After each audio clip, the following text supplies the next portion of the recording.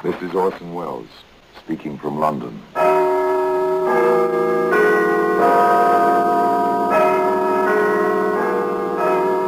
The Black Museum, a repository of death. Here in the grim stone structure on the Thames, which houses Scotland Yard, is a warehouse of homicide, where everyday objects, a milk bottle, a woman's hairnet, a bit of fly paper, all, all are touched by murder.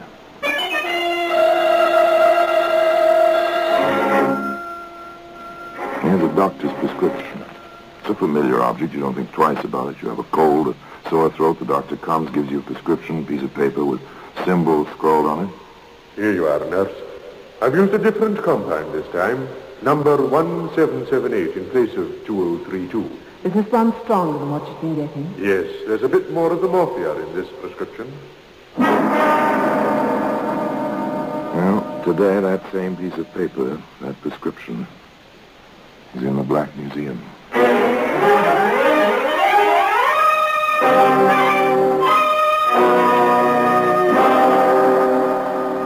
From the annals of the Criminal Investigation Department of the London Police, we bring you the dramatic stories of the crimes recorded by the objects in Scotland Yard's Gallery of Death, the Black Museum. In just a moment, you will hear The Black Museum, starring Orson Welles.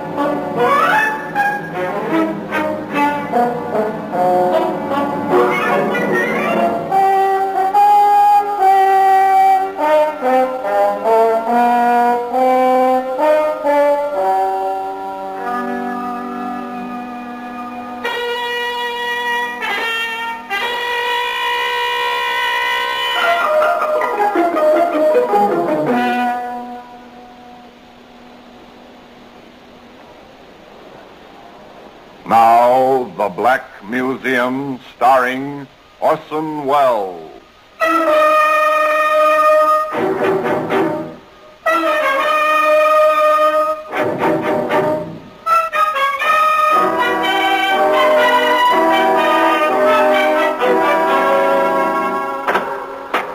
Well, here we are, in the Black Museum, Scotland Yard's Museum of Murder.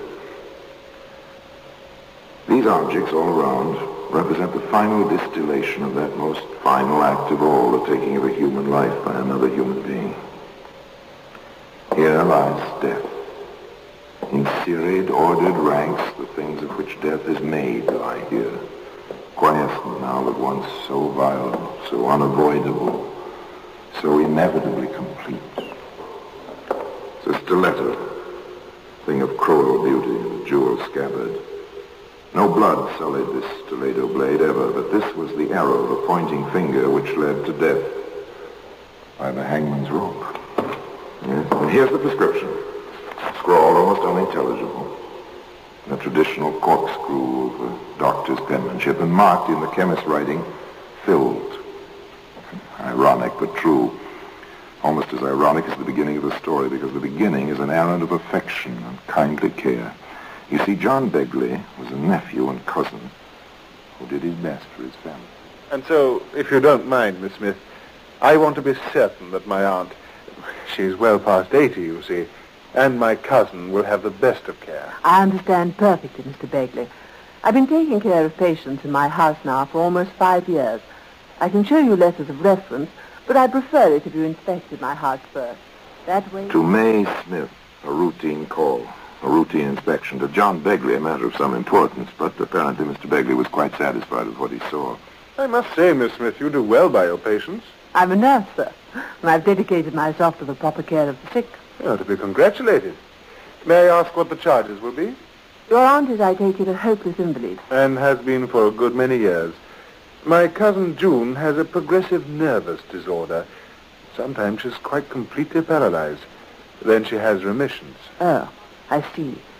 Would it be multiple sclerosis? I think that's the name of it. In any case, she can care for her own needs to a great extent, except when she has these seizures. Would 15 pounds per week for each of them be within their means, with board and so on included? Oh, yes, they have means. You see, my uncle, by marriage, that is, Mr. Dawson, he left them a comfortable income. No problems there. Everything perfectly respectable and not a thought of trouble in the mind of anyone concerned. Martha Dawson and her daughter June came to stay in the care of Nurse May Smith. Not a registered nursing home, you understand, but a nice place and a competent nurse in charge with a good doctor on call. All of which was borne out the afternoon some months later when John came to visit his aunt and his cousin. May. So considerate. Oh, it's May already, is it? Oh, why not, John? She's as good to me as, as June would be if she were able. I wish I were able, Mother. Ay, but you're not, poor dear. And May is a fine substitute. One of the family, eh? Yes, John. John, Yes, my dear? I'm not getting any younger. Here, no, none of that kind of talk. I mean it. I'm getting on. Fifty-five is well into middle age. I've been thinking about my will, John. Hmm. As your next of kin, I think you ought to discuss it with me. I'm serious, John. Listen to her, John. In all probability, I shall go first, and June will have uh, everything her father left. All right, Aunt Martha. Go ahead, June. Well, I've been watching May, you see. She has practically nothing of her own, except this house and the rather precarious income from her patients. I've, well, I've been thinking of making her a partial heir. But since you're the main one, John, I thought I'd ask you first. I'm doing all right, dear. No worry on that score. Only take my advice. Be sure before you leap. Money is a strange thing, you know. June listened to her cousin John. But what she thought he was advising, well, that was something else again. May, I'd like to talk with you. Of course, my dear. Go right ahead. I'm, I'm making my will over again. Now, that's fine talk. You and the will, whatever for? To make you my principal heir. June, really, you mustn't do anything of the kind. I'm sure your nice cousin won't like it a bit. Oh, I've discussed it with him. He doesn't mind in the least. In any case, people with their lives ahead of them mustn't think about dying. Then it's high time I began to think about it. June, dear, let me tell you something. You're going to live so long and pay me 15 pounds a week for so many years that you won't have anything to leave anybody. That's not so. My income will take care of me as long as I live. And John certainly doesn't need the principal. You will. You see, May, I know about the real nursing home you've always wanted. And the cottages and house that are the basis of what Father left Mother and me will be just perfect for you when the time comes. You stop this kind of talk, June Dawson. That's nurse's orders. I don't want to hear it. I simply refuse to listen to you. A word can be like a stone in a pool of water, the splash, the first ripple. And then wider and wider go the circles. The stone disappears, but it's there, lying at the bottom of the pool, even when the surface has become still again. This box of candy. Johnny sent it. Uh, will you have some? Thank you, Mother. Now, now, what shall I have? Nougat or, or a cream? You've had three already. You know sweets aren't really good for you. June is right, Aunt Martha. Now, you let me have that box. I'm going to save you from temptation and keep the box in my office. And you may have a piece after dinner and one after luncheon each day. the way you boss me. You'd think you were twice my age instead of the other way round. You're a good person, May. You really are. Am I? Just because I do my job? Yes, the care was good. And the three women obviously were very fond of each other. But did you notice the phrase, save you from temptation? Would a psychologist call that a Freudian slip of some kind, I wonder now? And who was saving whom? And from what? Certainly Dr. Lewin, the attending physician, thought merely that people were being saved from pain, and with conscientious care. I've been in to see Mrs. Dawson, nurse. I'm glad. How do you find her, Doctor? She's failing rapidly. Oh, it's too bad. She's a splendid old lady, despite her bad physical condition. Does June, uh, does Miss Dawson realize her mother's condition? Uh, I'm sure she does. Uh, she's a brave woman. And a self-sacrificing daughter, if ever I saw one. No question about that. Well, it must come to all of us one day. Death, I mean. Now then, have you the final reports on the terminal care for Mrs. Wrightson? Yes, sir. Right here in the file. And for Miss, Mrs. Richter. Uh, thank you, nurse. You know, you really ought to qualify as a proper nursing home. You know your business, Miss Smith. Thank you, Doctor. Well, regulations are strict and expensive to fulfill. Now, on these two cases, Doctor, you prescribed morphia towards the end, you remember? And you let me have a supply. I uh, keep the dangerous drugs in here. And I have some of the tablets left. I'd like to return them, if I may. Very well. Dangerous drug, morphia. Just as well not to have it around, even under lock and key. A dangerous drug. Tempting. But there's another drug, or so it may be called at times, a temptation certainly. Seems to have the power to dull the perceptions and the consciences of people, much as morphia does at a time. This drug is money.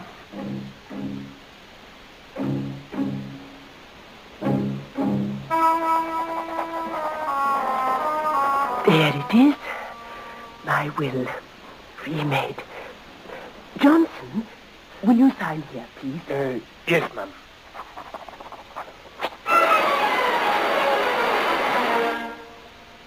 The papers were signed, put away. A will, an inheritance, a gesture from a grateful woman to a friend in need. That was all. An incident over, closed, with a period put to it as the pen stopped its scratching, as in a few weeks, a heart stopped beating.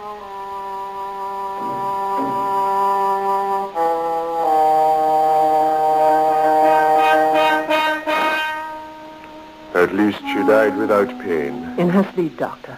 Around midnight. How's Miss Dawson taking it? Quite well. Would you like to see her? Perhaps I'd better. A sedative may be indicated. She's in her room. This way. Can I expect any reaction in June's own trouble? A disease of the nervous system like hers? Mm, there may be some trouble now, even when she's taking this blow so well. I know. Here we are, sir.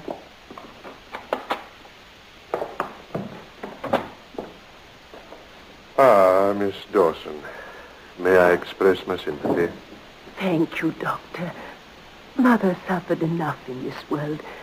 I pray she has peace in the next. I trust she will. Miss Smith is worried about you now.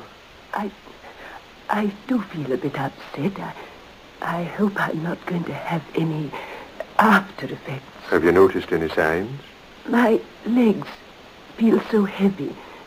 That's usually a sign. Uh, And my fingertips on my right hand, they seem to have lost the sense of touch. well, you just let me prescribe a sedative, my dear. With some sleep, you'll be fine. Uh, even when we expect something like this, it's still a shock. There we are, nurse. Thank you, Doctor. Now you lie down, June. As Doctor says, even when you expect something, it's still a shock. Yes, a shock indeed. Perhaps not unconnected with a piece of paper, a prescription, which can be seen today in the Black Museum. In just a moment, we will continue with The Black Museum starring Orson Welles.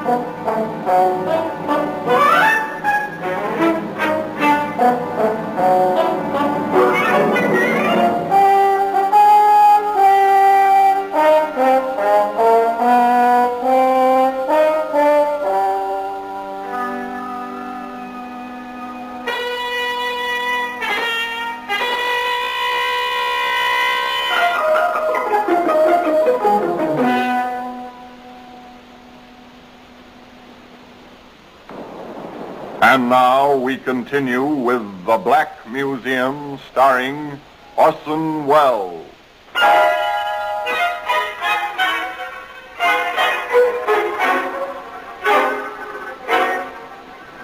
The words they use are polite. Terminal care. They carry many connotations.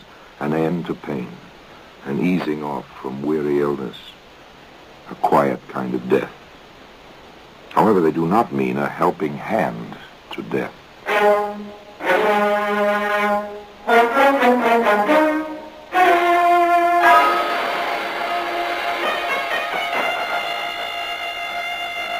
Doctor, poor Miss Dawson doesn't seem to be getting much relief from the sedative you gave her. I'm afraid the funeral and all the details have been too much for her. I've been expecting that.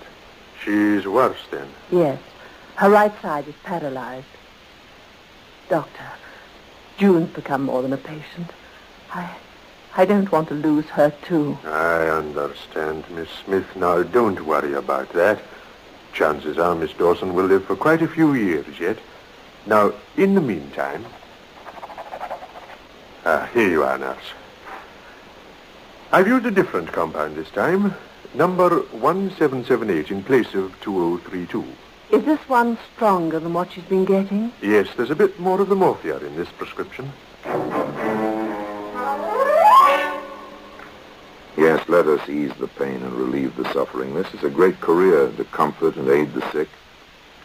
One does many things to help a sufferer.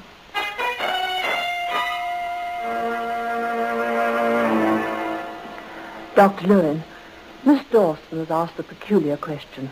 I don't like it. What is it? She wants to know how one can be cremated. Oh, she's thinking about that, is she? Well, she... Well, she hates her body. I think she wants to feel it will be completely destroyed as soon as she is gone. Now, can't you get her mind off this? Well, I try. I've been spending as much time as I can with her, but she keeps coming back to that same question. I'll have to satisfy her, I'm afraid. Well, you tell her she can put the direction in her will if she has one, or she can leave a letter properly witnessed ordering disposal by cremation. Then, when she dies, whoever is left behind applies to the Registrar of Deaths for permission. The rest will be taken care of by a licensed mortician. Ugh. What thoughts on such a pleasant day? She seems so terribly depressed. What can I do, Doctor? And just do your best to keep her mind busy. June Dawson, depressed, half paralyzed, and facing several years of a kind of half-life. Not pleasant. No, definitely. Cousin John Begley was very upset about it. I don't like it, Miss Smith. June shows no improvement at all. I'm upset by it as much as anyone. Yes, I suppose you are. What do you mean by that, Mr. Begley, if I may ask? If she dies, no more 15 pounds per week for you. I resent that, Mr. Begley. Yes, I suppose you should. Particularly since my cousin made that new will. Uh, do you know its contents? She hasn't disclosed them to me, but I can guess. Do you know them? I can't say I do. Hmm. Wise of my cousin to keep her will a secret, particularly since her estate will be worth at least four thousand pounds, if not more. A large amount of money and a small lie. Interesting combination. Of course, one can hardly blame this. It's not Cousin John's business what's in that will if June doesn't care to tell him. In any case, other events impend which will have a bearing on the matter.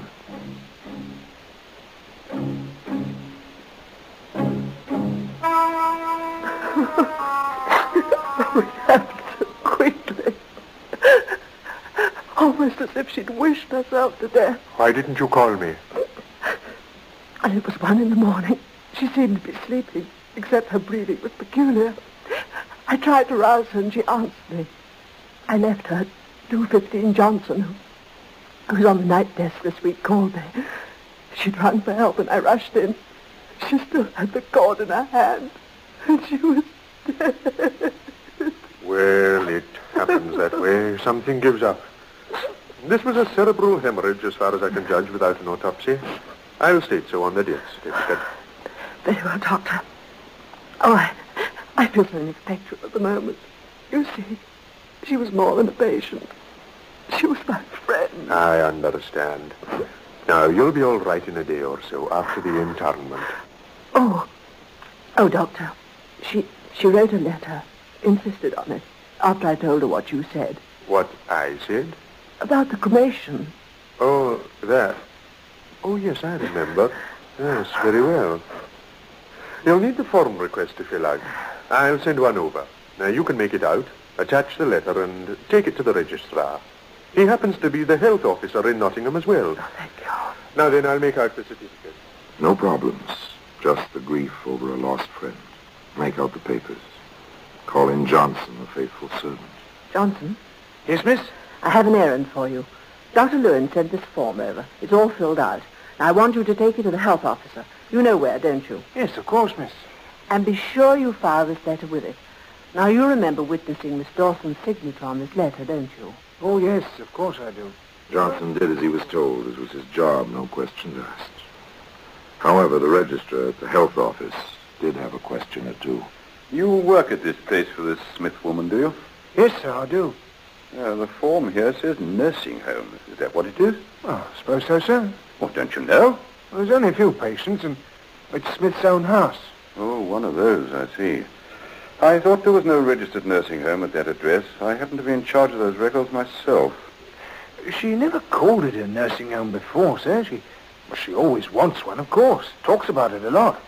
Says it costs a lot of money. Yes, it does. Uh, will it be all right for me to tell her to go ahead with things now, sir? No, no, no, not just yet. I'll want to get confirmation of this cremation request from a relative, too, if possible. I imagine the family will claim the body. Well, tell your employer we'll be in touch with her. Strange, isn't it? An ambition, a desire so near fulfillment. And Nurse Smith fills out an official form as if the ambition had already been fulfilled. Two words. Wheels begin to turn. Nurse Smith has an unexpected caller. You wanted to see me, sir? Uh, yes. My name is Liggett, Inspector Liggett, Scotland Yard. Uh, sit down, please, Inspector. Thank you. What can I do for you, Inspector? Did you know there's been an, a post-mortem on Miss June Dawson? No, I didn't. Who gave permission? Her next of kin, uh, John Begley. Oh, You know him? he's been a visitor here. I see. The death certificate said cerebral hemorrhage. Dr. Lewin told me. Would you tell me the type of medication you gave the patient? I have the record book right here. Yes, here it is. Patient in pain in afternoon. Gave two tablets as prescribed by Dr. Lewin at 4 p.m. And uh, here's the 8 p.m. entry. Usual dosage of sedative. What was in those tablets? Morphia. Dr. Lewin left them with me.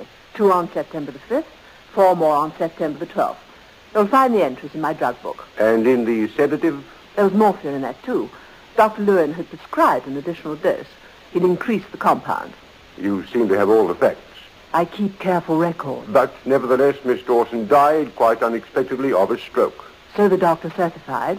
That is not in my property. No. And the doctor made out the certificate without an autopsy. He's quite a competent physician. No doubt. But the fact remains that Miss Dawson did not die of a stroke, Miss Smith. No? Uh, may I ask? She died of an overdose of morphia, quite a large overdose. So I'm afraid we shall have to take you in charge until further investigations have either cleared you or brought you to trial either for manslaughter or homicide.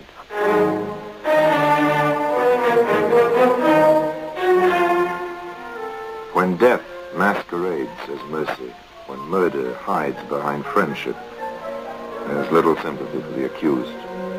In this case, where one required to heal stood accused of killing, there was only anger. Nonetheless, justice was well ordered and the evidence was made quite clear. First, the motive. Mr. Begley, what do you know of the occasion of your cousin's drawing up a new will in favor of the prisoner? My cousin discussed it with me, What did she tell you?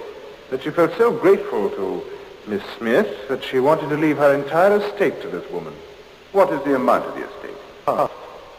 To the best of your knowledge, did the prisoner know the size of the bequest? I told her myself. On what occasion? When I asked if she knew the contents of my cousin's will, And what did you say to that? that she did not know. At a subsequent visit with my cousin, I learned that she did know. In fact, her own assistant or helper witnessed the document. Thank you very much, sir.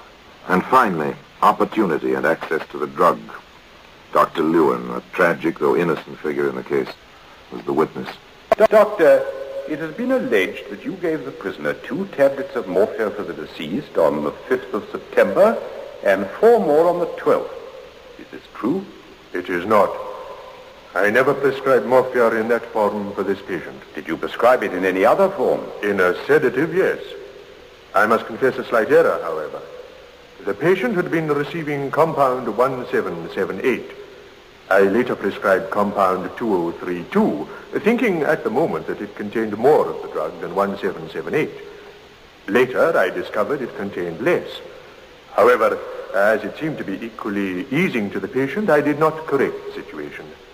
Were you urged to add to the morphia? I was, by Miss Smith. Have you any idea where the prisoner may have acquired the drug which was used? During the past year, I have given her small quantities of the drug for use at her discretion, but never more than eight tablets at a time. She has returned a few from time to time. On checking my records, I find I have given her almost a hundred tablets. Is this normal? In the situation where terminal care is the norm, yes. However, it is perfectly possible that some of the unused tablets were not returned to me. Now, returning to your prescription, Doctor, do you remember the occasion of your writing it and why? I do. It was just after the patient's mother died while under Miss Smith's care. Miss Smith was most anxious for a stronger sedative for the patient and inquired specifically concerning its comparative strength after I wrote the prescription. She also inquired of me concerning cremation. The Crown rested its case. The sentence was death by hanging. Well, today that same piece of paper, that prescription, is in the Black Museum.